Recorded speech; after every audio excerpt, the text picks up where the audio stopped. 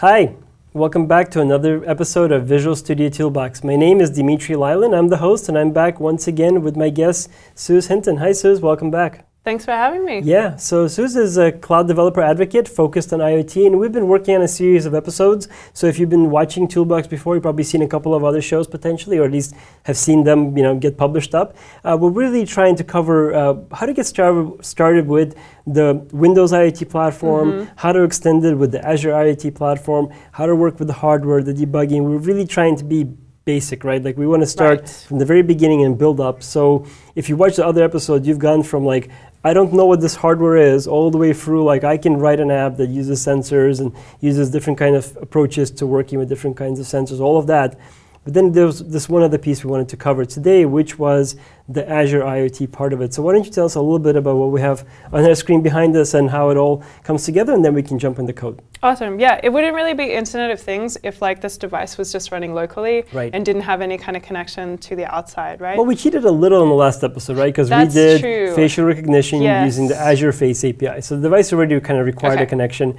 But now we, we are like, okay, but the device kind of exists by itself somewhere, right? In the real world, this would be embedded somewhere or standing in some, totally. some device, right? Yeah, so what if you actually wanted to monitor those sensor values from the outside? And mm-hmm. let's say you wanted to actually kind of persist it somewhere else, like in the cloud, such as in Azure.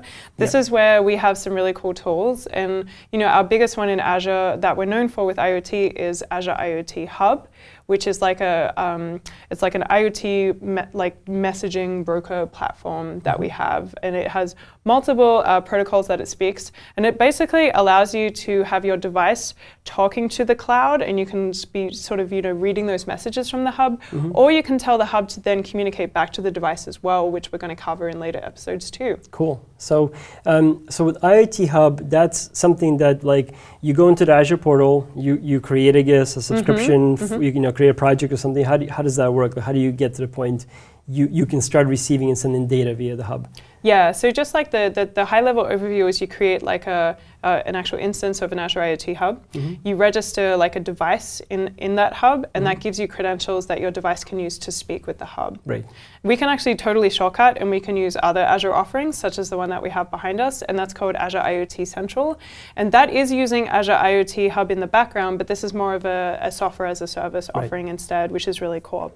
And what you're looking at right now is you, you might recognize that little picture is of a Raspberry Pi. Mm-hmm. This is actually listening to live telemetry coming from the Pi right now. Awesome. Yeah, that's the actual device that we have sitting here. Mm-hmm. And uh, the way that you kind of explain it to me, because I'm, I'm new to some of this as well, is that, yeah, this, this is all new to me. Like the uh, IoT Hub is the, the API, right? That's our yes. bridge. That's where we're sending data over. That All this data that's being visualized in the SaaS is coming in through IoT Hub. And then this SaaS is configured to read from that IoT Hub data store of some sort and it's visualizing data and but you pre-configured it. It's like not, nothing on this view was there in the beginning, right? That's you had right. to position all these like dashboard widgets and mm-hmm. you configured it, but now it is displaying live data, which is really cool. Yeah, and I can just sort of drag and drop stuff and you That's know so decide cool, to yeah. put it elsewhere. And this is a relatively new offering from us, and I think it's actually really cool because yeah. building your own dashboard sucks, you yeah. know, and like most most dashboards out there are made for like logging and monitoring of web services, not really like devices. So mm-hmm.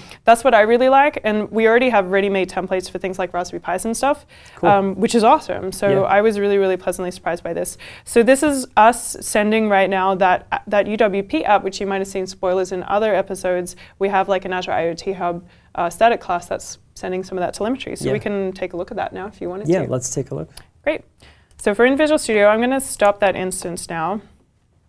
And I have a, a IoT hub, um, just a static class with a couple of methods in it.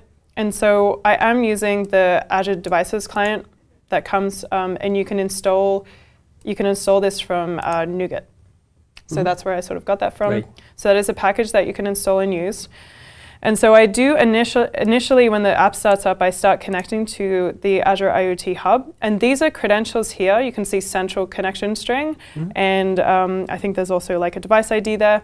They're given to you when you create your uh, IoT Central application. So when mm-hmm. you create that Raspberry Pi device, it automatically registers, registers that with your IoT hub and then gives you those credentials to give to your Raspberry Pi. Right. So it really couldn't be easier. Mm-hmm. When you're creating a new client, you have those those particular credentials. Cool.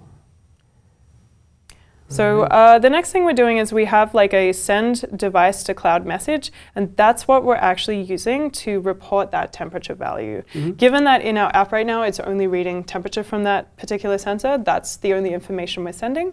But you can see here that we're, we're actually just creating like um, some data to be able to send. We're sending what time we sent that, um, we took that temperature reading, uh, the actual temperature value itself, which we, um, which we looked at in previous episodes, which Mm-hmm. you should check out if you'd like to see how we got that.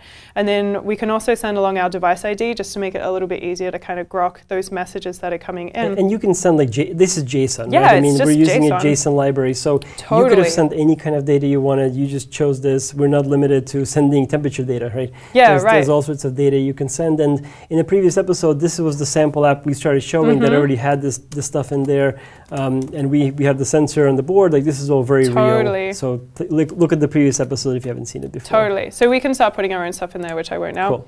Um, we just have to serialize that into like a string, Mhm. and then uh, our device client send event async with our message. That's what's doing the IoT Hub stuff. It's just that one line.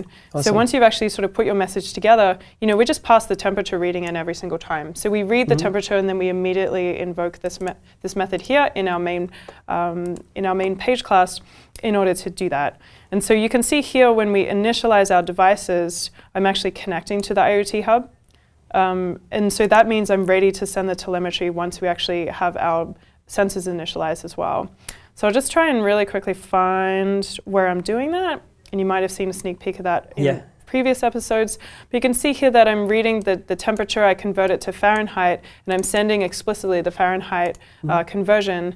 And this is just my static class we showed with that Yeah. So Yeah. You're, you're constantly on every tick of this of this timer. You're sending Yep. up the data that you've decided to send up, and then IoT Hub just stores that as you know the JSON that it receives, and then the central part of it, the Windows IoT Central, is the visualize. Right. This is the Right. SaaS. So you decided to visualize some of that data. So potentially you can be really creative on the kind of data you can send back, visualize, Absolutely. and I guess scale to many devices, sending back telemetry without having to build a lot of you know backend. So I mean, just think about how much stuff you'd have to build. I know. But but like philosophically, like let's talk about like Windows IoT Hub. Mhm. So so so let, let's be very concrete. Like, what problem is this solving? Right? Um, is this something the industry already had as an issue? Is this something Microsoft thinks is a problem? Like, give us some of that context. Yeah, that's a really great question. So messaging brokers for devices have been around for a long time, and we do have you know several different protocols such as MQTT. But the problem that it's solving is that you know we never used to really distribute devices at scale in this way. Mm. Like imagine imagine you know there's some kind of smart toothbrush that knows you know how long you brush your teeth for, and then it also is like logging how often you brush your teeth, right? Imagine you know you sold like a million of them around the world and like they're all somehow communicating back to your central application to do things like firmware updates for your toothbrush Yeah. um, and even just like being able to plot like you know in someone's account on the on you know your company's website like how they're doing with brushing their teeth Right. So you, you can basically, as a company, you can collect data the user decides to send you. You can then do something meaningful with that data. Totally. Either completely in a custom way. So in other words, you can read that uh, Azure IoT Hub data store yourself with code you've written, or other solutions. And we just happen to have a solution that does some basic visualization. So it's great for deploying some devices, doing some testing, doing some pre-canned things, or you can write some crazy code to to plot how your toothbrush Yeah. is going. I mean, that's a contrived example, but it is kind of easy to imagine. Um, and yeah, IoT Hub focuses on mostly trying to do this at scale. You know, it's able to collect a ton of messages and kind of like buffer them until you're ready to take them because it will keep those messages around for a while. But it also allows you to have that two-way communication as well. And so, if you have like a certain uh, batch of toothbrushes you want to update, um, you can just isolate that group and you can just send out firmware updates to just those devices themselves. And so it's a two-way communication and Yeah. it just has so many features in it that I'm not even like touching on. But the biggest thing that we focus on too, which can be a problem with uh, devices is security. Hmm. So we've heard all about, you know, the DDoSing webcams and Yes. and, and stuff that happened, you know, uh, like last year and, and the year before.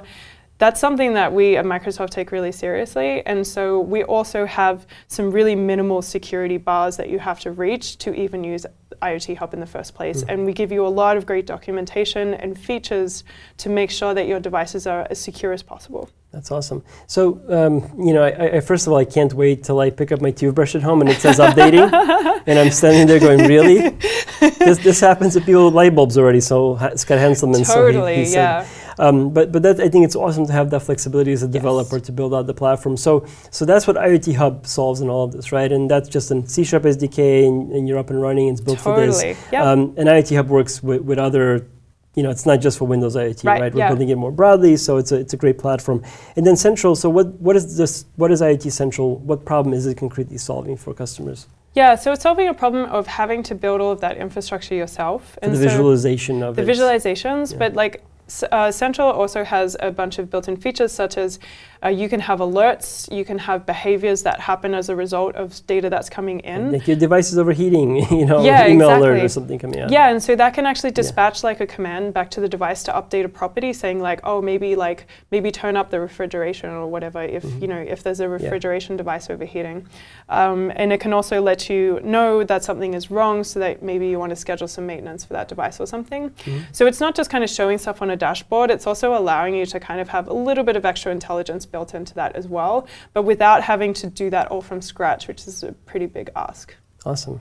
So this really makes, I think, our, our sample app even just a little bit more real, right? That's our goal. It went totally. from just kind of working now we, we are sending telemetry to the cloud. We are visualizing the telemetry. We're, mm-hmm. we're giving you as a developer much more options. And by all means, if there's more interesting things that people want to see, you know, leave us uh, comments in the show notes. Uh, mm-hmm. Uh, send tweets. You, you know, Susan and I are very active on Twitter, so let us know what you're thinking. And we'd love to do more content around this. But I think this is a great kind of starting point. And uh, anything else that you wanted to show as part of this? Uh, no, I think the the next episode we're going to do some super cool stuff where we're going to start like controlling the device rather than just having the device mm-hmm. telemetry to us. So awesome. I'm excited to talk to you about that next time. Okay. Well, thank you so much for coming on. Thank and you. folks, thank you for watching this new episode of Visual Studio Toolbox. We really appreciate that you watch this. Check out the rest of the episodes in the series. We're again doing a series on IoT, so there's more episodes behind us and a couple of more in front of us, which we'll be back to record soon.